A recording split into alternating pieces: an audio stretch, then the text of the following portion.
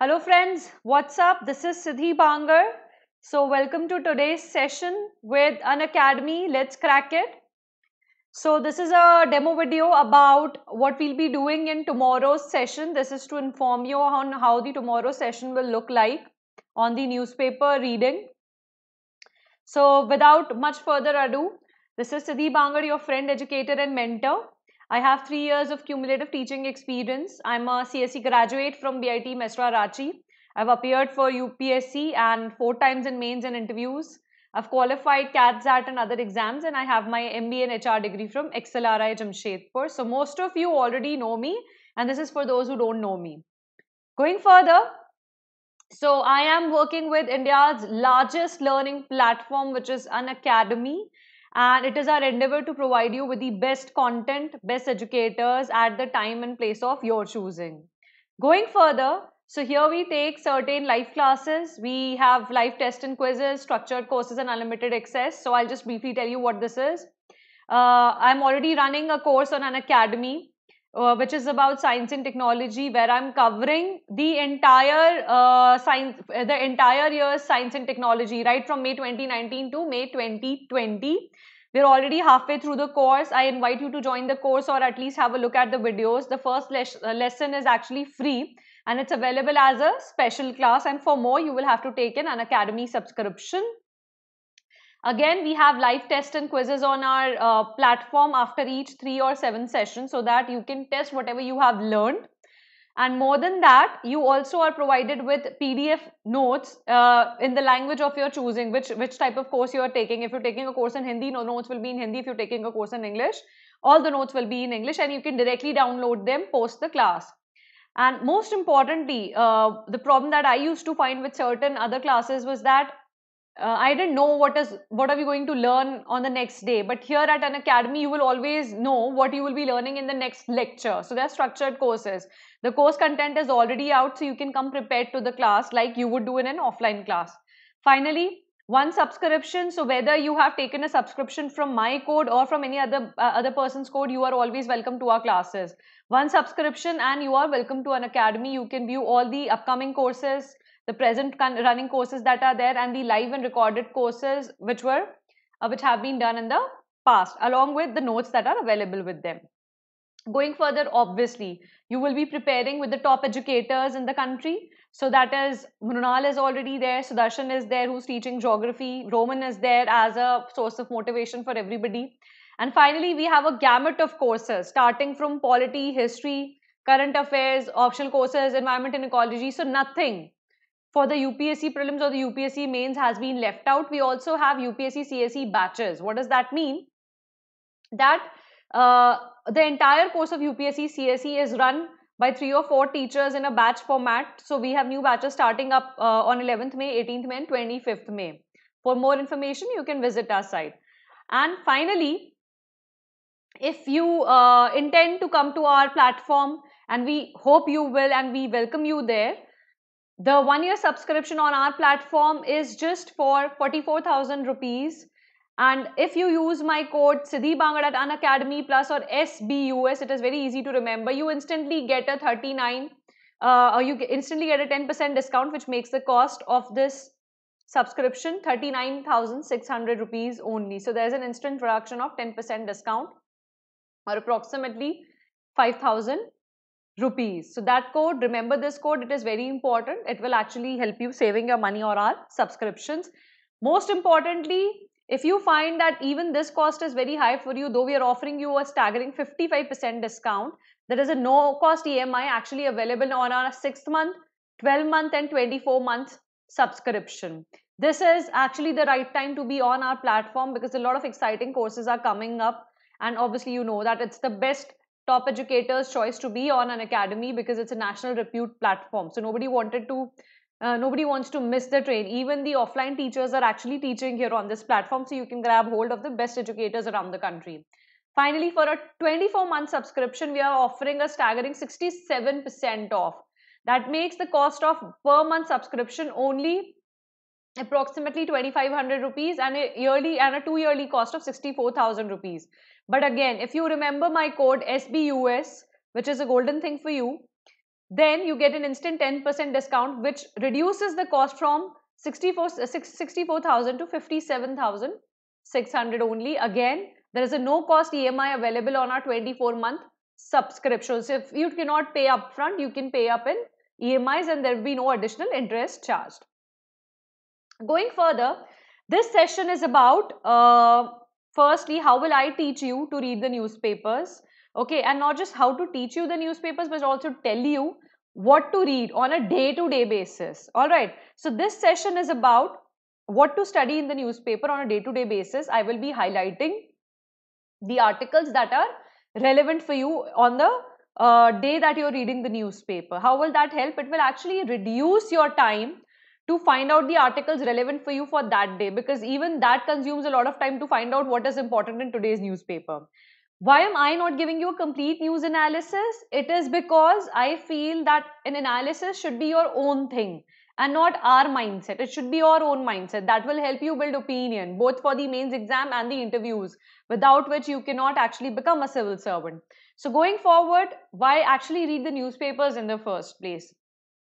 Read the newspapers because maximum amount of your paper 60 to 70 percent of your paper is actually current affairs only whether it's optionals or it's the gs papers whatever was there in news is there in news or can be in news is actually covered as a part of the UPSC syllabus and finally as a part of the questions that are asked in the examination. And the second most thing which I keep telling my students why it is important is it helps you learn to articulate. And if you learn to articulate, you write better answers. And if you write better answers, definitely you score more marks in the mains examination, which actually builds up your merit list. So all those people who have actually scored good marks in mains, are the people who have actually topped the exam. So why not be that person? Going further, what to read is what is I am going to take up in these daily sessions, which will be between 9.30 to or 9 to 10 a.m. Anywhere between 9 to 10 a.m. Uh, and I will be informing you a day in advance. You will always get the notification a day in advance so that and we are trying to do it as early as possible so that whenever you open the newspaper you already have this video in front of you and then you can tick mark the articles along with me also it will be uh, premiered it won't be a premiered video it will be a live video so either you can study the newspaper with me and you can ask your doubts there and also now what will i cover and how will i be helping you i will actually be telling you the articles that you're supposed to read a brief a little brief about the articles and I'll be covering the articles from both the newspapers, the Hindu and the Indian Express. I thought, why only one newspaper? Some some janta might be reading the Hindu, some janta might be reading the Indian Express. So let's uh, let's give them uh, best of both the worlds. So the people who are reading Indian Express, they won't miss out on the Hindu. If they find that certain article looks like of interest to them in the Hindu, they can then go and visit the Hindu and read that article.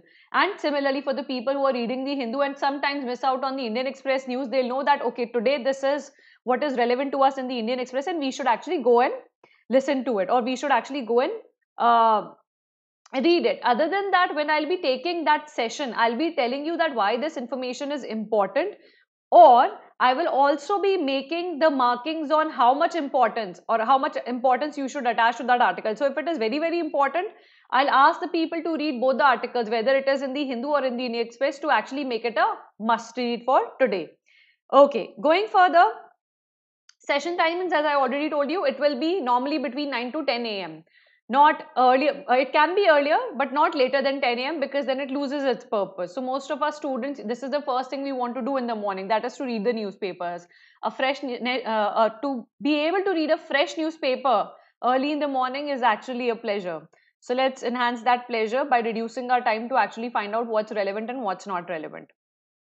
Going further an example but before i proceed to example I would, uh, you must be wondering about my credentials. So I'll let you know my credentials. While I was preparing for the civil services, I cleared my mains exam just basis the newspapers. I used to read three to four newspapers at that point of time. The Indian Express, the Hindu, Economic Times and any other uh, and Dainik Bhaskar. I used to read Dainik Bhaskar in Hindi and other other newspapers I could follow around. So whenever there was an important news, say in the Washington Post, the Huffington Post, or the New York Times, I used to read that also to get a worldwide view of the things, and it greatly helped me in clearing my exam because everything which was there in the question paper, it might be static also, but you know the news keeps repeating itself the issues are getting older but they never get irrelevant. So the issues are still the same at least all around the world. Some of the issues never change.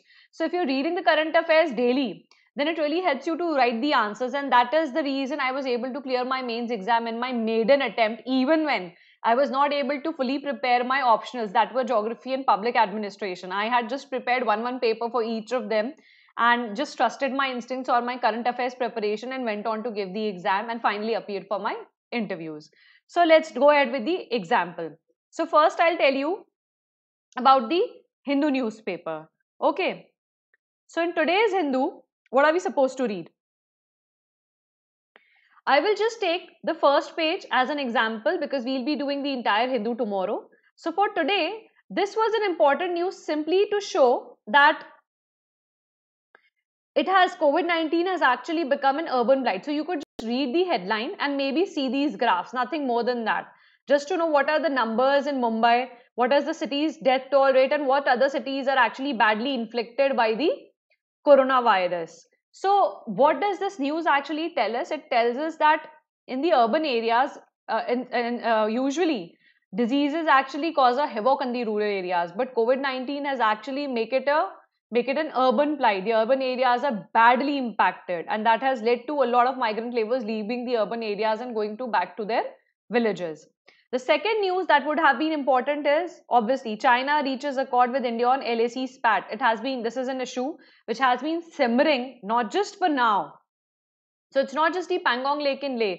This issue has been simmering since 2013 and in fact if we go back dating back to 1962 since then when we lost the war to China we actually lost a large part of the J&K territory or the chain to China. And since then, the boundary issue has been simmering. So obviously, this will be very important because even in 2017, we had a Doklam standoff, and that was when the president was actually in India. And similar things have happened. The president, the Chinese president, just met our prime minister in 2019 at Mahabalipuram, and still we are having a army standoff. In fact, this was one of the big standoffs because the Galwan Valley area where the standoff is right now going on is actually not a previously uh, disputed area. So it was, this dispute was kind of new. So that's why this article becomes important and I would recommend anybody reading the first page to actually read this article. Going further, another important news in today's newspaper was Gujarat's pride grows at its now host 674 Gir lions. So the number of lions have increased from 523 to 674. Though the way the census was carried out was not very scientific, but an increase shows that we are doing something right over here. And obviously, it's related to wildlife and our conservation and wildlife practices. So this article becomes important. But what will we read here? We will only read the numbers or maybe the graph is also enough. Nothing more than that requires to be read. And additionally, in the map, you need to mark where is the Gir Forest in Gujarat or Gir Wildlife Sanctuary in Gujarat or the Gir National Park in Gujarat. Alright. Now, this was about the Hindu. I'll also give you a brief example of how to do it with the Indian Express. So, in the Indian Express, if we consider the first page, we have this. So, this is actually not important. We won't deal with this. China confirms both are taking steps to ease LAC situation. Whether you are reading the Hindu or the Indian Express, I would still ask you to go through this information. If you're reading one of those newspapers, then definitely this is the go-to information. If you are reading both the newspapers, then you can go through either of one of the news regarding India and China. That should be suffice. Now, how do you read this article, entire article? Maybe you can read this page only this column, it will give you a definite idea of what is actually going on in the boundary right now and then read the E explain. So it actually in the short form, it explains what is the crux of this entire article. So maybe you need not actually follow it on page 2 and save ourselves the time. Finally, we can just simply read the number here 67 migra lakh migrants returned to 116 uh, districts in 6 states. Why is the problem? Because normalcy challenge. Trains leave cities full but return with fewer. So this has been actually a simmering issue in the news. That we are trying to open the industries, we are trying to open the shops, but there's no labor to work in it. So this actually tells us about the extent of migration which has happened, the reverse migration which has happened from cities to the villages. So I would just ask you to read this important news and I would briefly tell you what, the, what is the meaning of this article. Finally, Going further on the first page only, we would have asked you, to, I would have asked you to read Rap to India on Religious Freedom, Visas Denied to US uh, Teams Advising US Congress. So, in uh, the 2019, April 2019, the United States Commission on International Religious uh, Freedom, okay, they advised the US Congress that, uh, you know, India is, should be on the watch list for denying religious freedom to its people. So this time when they wanted to visit India, they were actually denied visas by the Ministry of External Affairs because they said that certain constitutionally given rights to our citizens uh, the right to freedom of religion is a constitutionally given right to our citizens. So there is no foreign body which can actually uh, question the rights that have been given to our citizens by our constitution. They are nobody to meddle in our internal affairs, and that's why these uh, this commission was actually denied visas when they wanted to visit India. So it's an important piece of news. Why?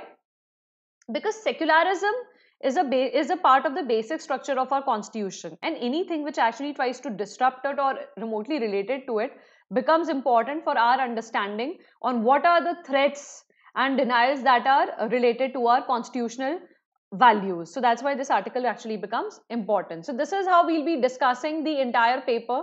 Uh, today I'll be, I'm only, as a part of this video, I'm only demonstrating what we'll be doing tomorrow. So tomorrow I'll be covering the entire 12 pages of the Indian Express and the other complete Hindu on what articles to read and what to leave out. So that ways you'll have a brief idea on what to read and what not to read and it will greatly help you reduce your time in reading the newspaper. You can simply start to mark the articles along with me or even if you're not able to do it live with me, you can after uh, once you're finished or once you've gotten up and want to read the newspaper, you can simply watch the video and mark the articles. In the end, I will also provide you a brief uh, written format of the um, articles that you're supposed to read. So not just I'll do it paper by paper so that you don't have to watch the full video. I will also provide in the last two slides simply the names of the articles that you have to read today so that it becomes easier for you to read the newspapers, helps you save time and obviously Unacademy is always there to help you out. Alright, going further, I would like to continue and tell you that okay this is my telegram group link for uh, current affairs. All right? A lot of people are already members of it. So here i post about my upcoming videos and in case you have any doubts my Unacademy students are here. They can ask me doubts. They can call me up. And uh, definitely i inform them about the next sessions that i'll be taking. And finally, this is my Telegram channel link. Here also I post my upcoming videos or the classes that I'll be taking. I also inform them about the daily and Unacademy classes that I'm taking so that nobody misses out on the uh, important information that we and Unacademy want to share with you. So all the best for your preparation and hope you found this video useful and hope to see a lot of you in tomorrow's session. So tomorrow's session is planned at 9.30 a.m. in the morning on YouTube I have shared the link of my tomorrow's session on my telegram channel and group both. So you can become a part of it and know that there is a session. I've shared the link there. And i will also share the link under the comment section of this video when it is premiered so that you have the link to my video tomorrow and you do not miss out on important articles both from the hindu and the indian express that you need to watch out for or read for in the morning. And I would be glad to help you save your time. So if you like this video, please hit the bell icon for notifications, subscribe to our channel and use my code Siddhi Unacademy Plus to get an instant 10% discount on our one year and two year subscription which will make your cost 57,000 for a two year subscription and for a one year subscription it will bring down your cost to approximately 40,000 only. With that, Thank you and have a good day.